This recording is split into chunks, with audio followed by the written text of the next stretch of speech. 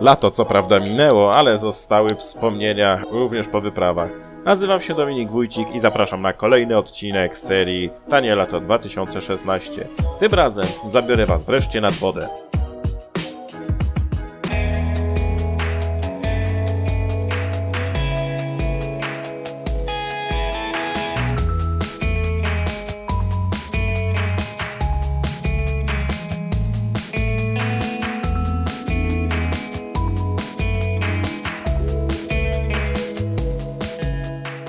Poraj, Jastrząb, Masłońskie na Tagii. To miejscowości nieopodal Częstochowy kojarzące się z wielkim zbiornikiem wodnym, który każdego ciepłego dnia zamienia się w kąpielisko.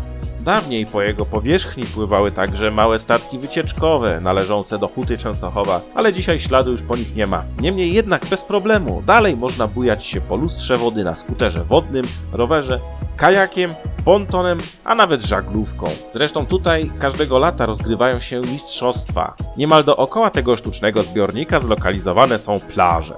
Wszystkie powstały jako dzikie.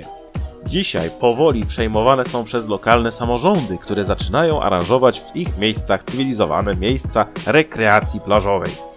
Miejsce widoczne na filmie to jedna z dwóch plaż z miejscowości Masłońskie na Tallinn.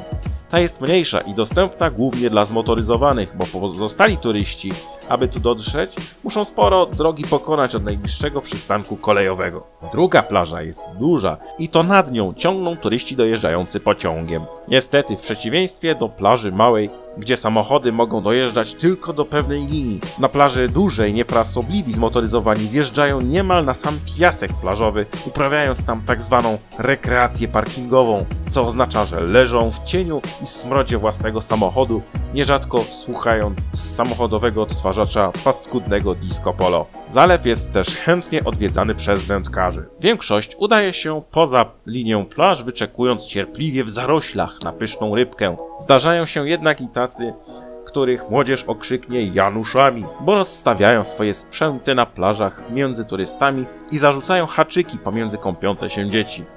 Często także wchodzą tym samym w konflikt z plażowiczami, bo ci plączą im żyłki. Miejsce zlokalizowane jest niedaleko dużego miasta Częstochowy i jest popularne wśród jego mieszkańców, a także mieszkańców wszystkich okolicznych miasteczek i wiosek. Akwen jest duży i z pewnością pomieści ich wszystkich. Tradycyjnie w następnym odcinku przedstawię Wam już typowo techniczne informacje dotyczące tego zalewu. Na odcinek już teraz serdecznie zapraszam premiera niebawem.